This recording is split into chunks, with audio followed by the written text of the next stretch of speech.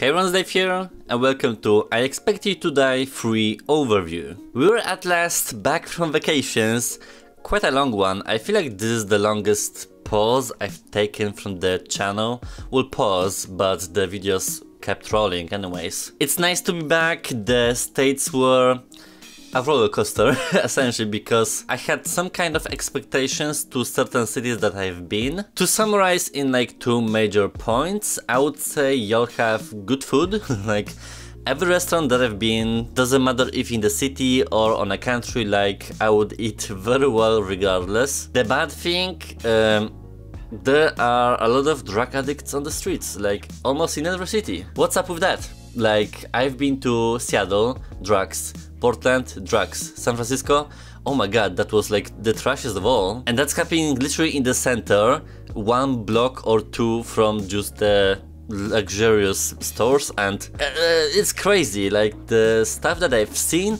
I never had that here in Europe. Besides the shenanigans, I've also done more VR than I would think, cause it wasn't planned, but I found a VR arcade in Vegas, couple advertisements on the streets for VR games, and I just stumbled upon the Meta store somewhere south of San Fran. So like overall, I'm very much pleased with the trip, but now it's time to get back to work and start a new season for us here. so I expect you to die 3 is the third iteration in the series of the puzzle narration adventure game where, as an Agent Phoenix rising from the ashes, you need to discover what Dr. Zor has cooked up for us, encounter a new mastermind villain and survive all the chaos that will be thrown at us. I was kinda scared going into this game simply because it might have been perceived as just yet another part of the lore or story that's going on. I never liked the low quality graphics or just like the clarity overall of the vision. It's like two previous games have been stuck in the past and even though the games are very much entertaining and hilarious at best, they were never perfect. Though I'm happily report that you'll see in the gameplay anyways, the graphics are absolutely upgraded to certain point of the art style, which is completely sufficient in my eyes and with couple other quality of life solutions, like there's absolutely no bad things I can say about it. And that happens very rarely, so it's good to see the series being back in full motion. I don't know if it have been like one or two years only, but the moment I decided to try out the first game, I instantly fell in love with that. And here we are that will be doing the third playthrough of course. Let's go back to the agency.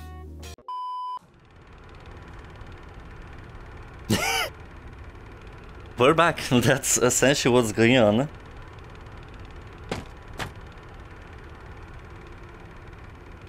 I mean, we're familiar with the game. Or the series. Let's go. oh. There's gonna be subtitles? In the first installation?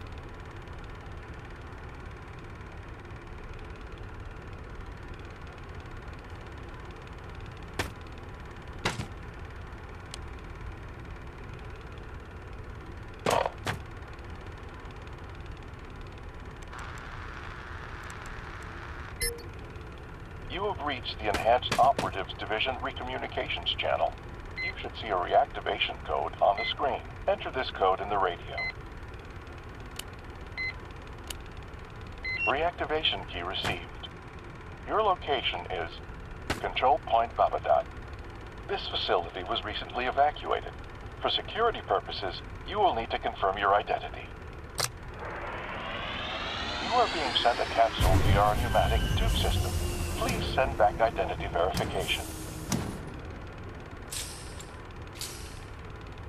The use of telekinesis is permitted at your facility. Refer to projector slides if necessary. Target the capsule and pick it up. It's exactly the same.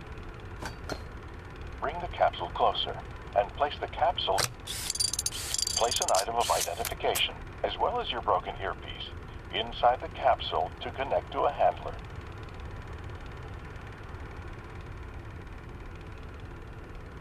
I mean, it's gonna be more comfortable if I'll just use telekinesis every single time. I can just move, but... the pneumatic tube has been opened. Please place the capsule back inside the tube for transportation.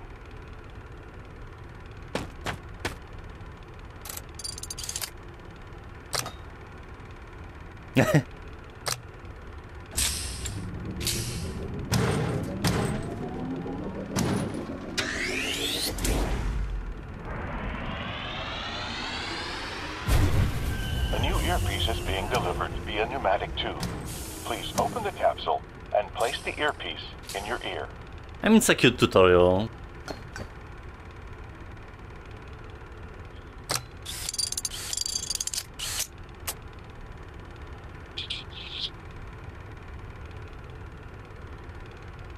Hello, hello.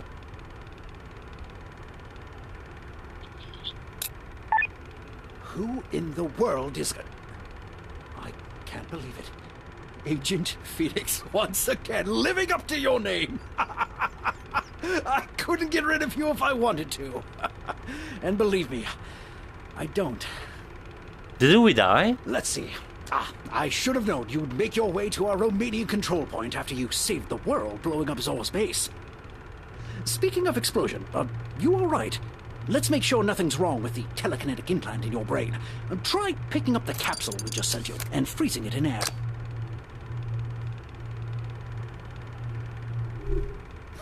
Looks like your TK is okay. Good thing. We wouldn't want something attached to all our agents' brains to malfunction. well, you do need to complete the recommunication protocol you initiated. Here, I'll walk you through the rest of it. Just like old times. Oh, yes. Let's see. You're in Babadag, Romania, which should be this switch right here. That was not my fault. The surge blew the main breaker panel clean out of the wall. Bring it closer so we can get it working and get this power back on. Hover the panel in place so it'll be easier to work on. You'll need to solder those wires on the back before attempting a manual reactivation. There should be a soldering gun in that desk. If there's not, someone messed up.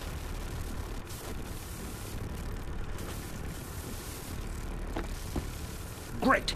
Use that device to solder the broken wires, and we'll have this place powered up in no time. If you need to, refer to the projector slot.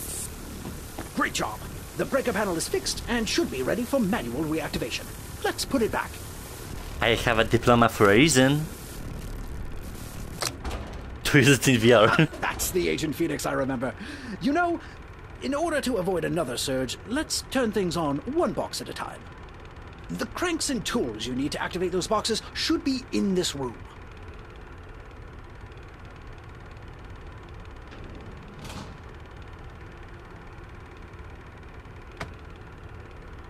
I mean, I should be searching anywhere in this game.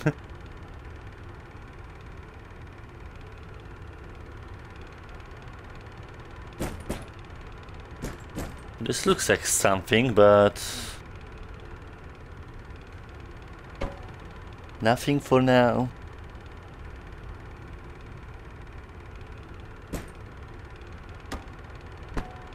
It says here that three unique levers are required to activate all the boxes. Where did those tools get to?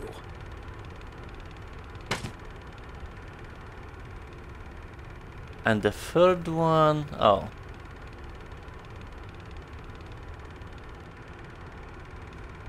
Oh, that's gonna be activate, okay.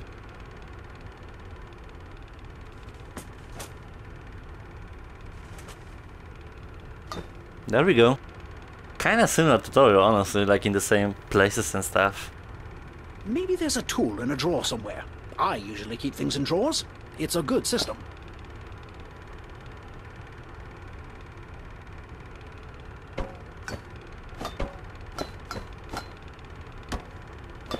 Yeah, that's how things work.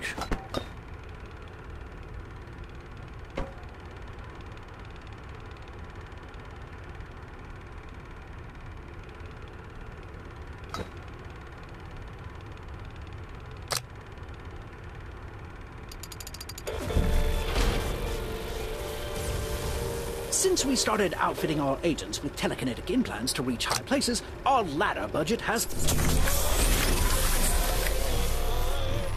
Only one electrical box left to activate before power is fully restored and I can safely flip this switch in front of me. Oh, it's so tempting, Agent. I mean, the place looks a little bit suspicious, okay?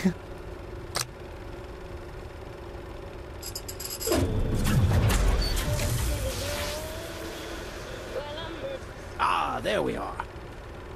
Well, I dare say you and I are back on the job. I never thought I'd be saying that again after we lost you. I'll spare you the sentimentality, but, well, I was ready to call it a day after that Juniper business. But we're a team. If you're here, I'm here. Ah, Speaking of which, I have just the mission for the great Agent Phoenix. but I wonder if it's the same voice actor though? I think so.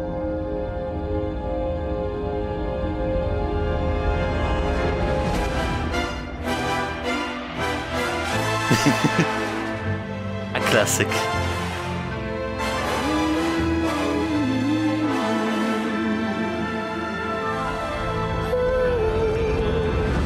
You showed me the door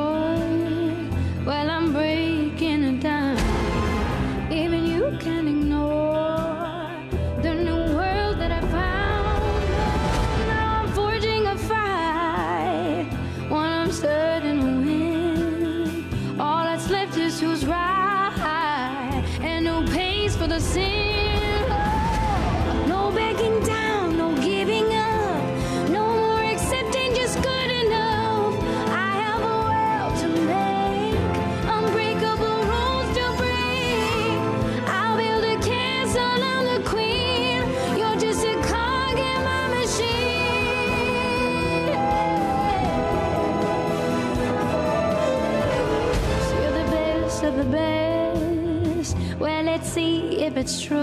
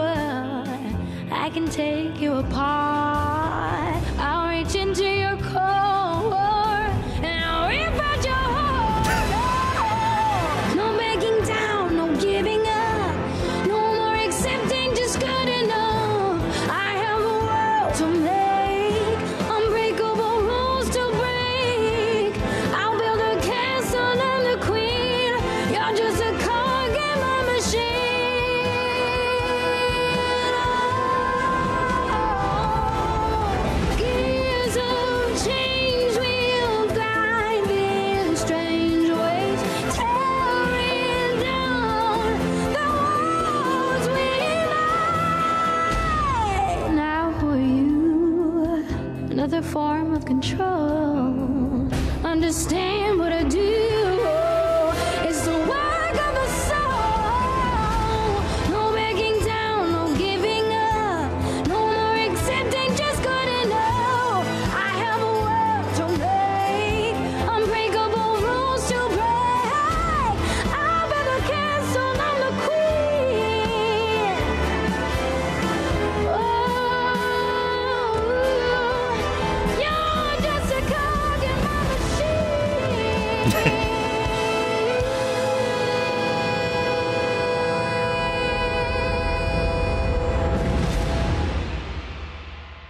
As always. Well, look at this place. I like what you've done with it. Your first mission is being delivered now. Don't worry, we're easing you back into field work. So, cause I always had a problem with like low fidelity graphics or things were a bit blurry normally, but I feel like they stepped it up. Cause the textures are sharper, definitely, and the objects are like better quality. So it's a perfect game because that was always my gripe with the series and now it looks amazing and with the addition of subtitles like what can I want more from it? It seems to be just the old classic I expect you to die. I'll try to play a little bit the first one. I don't think I'm gonna complete it, but I'll do the series anyway, so. Now that you're back, it's time to get to work. We'll start you off with something simple, without world-shaking ramifications. Dr. Roxana Prism is a former inventor for the agency and the one responsible for creating the telekinetic implant in your head using a crystal known as kinesium. Dr. Prism has recently been absent for multiple check-ins and is considered missing. We're looking into her whereabouts, but in the meantime, she has sensitive research into kinesium that should not fall into the wrong hands. Go to her home in sunny California and retrieve that research, just so we know it's safe. I love that it's the whole lore, like. Oh wow. So this is where Dr. Prism lives. Well, nothing looks out of the ordinary besides, well, everything that looks out of the ordinary. The kinesium research we're looking for is likely in a computer. Find it before someone else does. This looks amazing. I mean, comparing to the other iterations in the series, cause normally you'd consider this a normal level of fidelity and graphics, but at last we have like a good looking, I expect you to die game.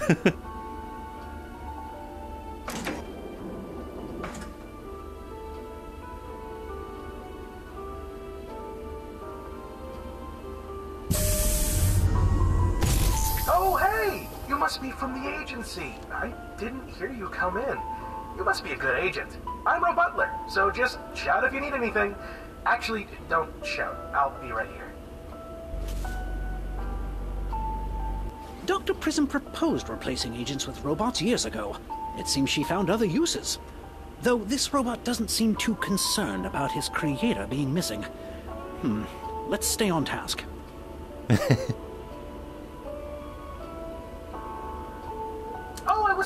be hungry. Hold on. I can make this awesome thing. no, no, no, no. I never trusted Dr. Prism's robots, but he seems like a nice guy. Okay, eat this. It's okay if you don't like it. I'll be crushed, but it's okay. Oh, Look at you using telekinesis. If Dr. P were here, I bet she'd be pretty excited about that kinesium in your head. uh, I spilled it. Sorry. I knew you'd love it. The secret is thawing the shrimp in a microwave. what the hell did I just do? Lemon lips?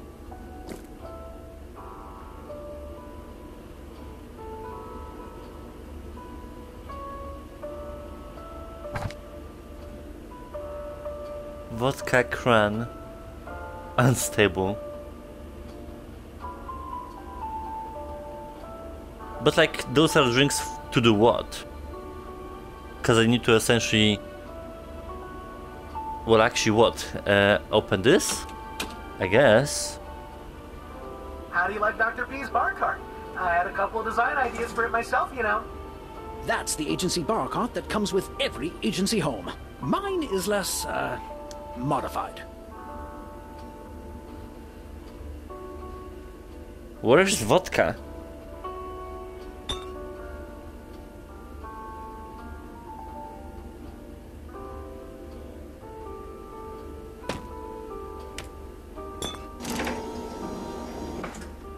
Oh.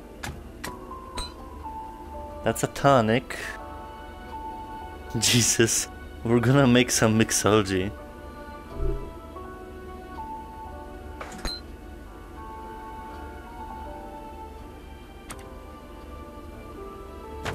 So what's the first recipe we can do? Incendiary, Neuro.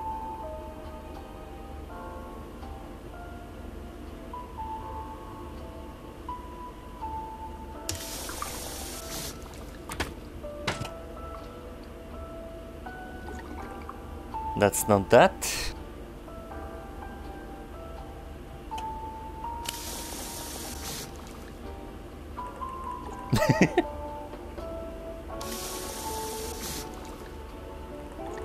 The key to a gin tonic is effervescence. I read that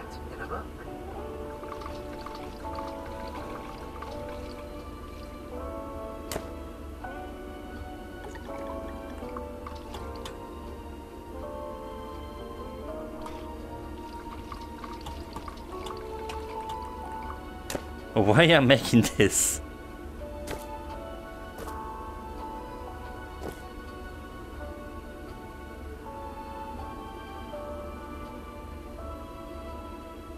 I have absolutely no idea. Surf at room temperature. Well, that should be it.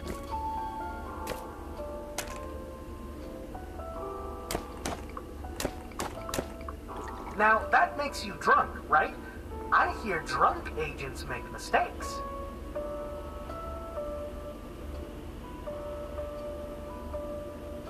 Okay. Oh, that's, uh. Huh. I can't believe she still has that. that was a long time ago. okay, well, I knew I won't solve anything here today, but we're gonna continue the series anyways, like, that's what we do. Everything is quite about right, like, better graphics, you have additional subtitles here, like, the game seems to be essentially the same vibe like the rest of the series. If you play the previous ones, then it's kind of like a no-brainer. I'm just, you know, kinda watching you.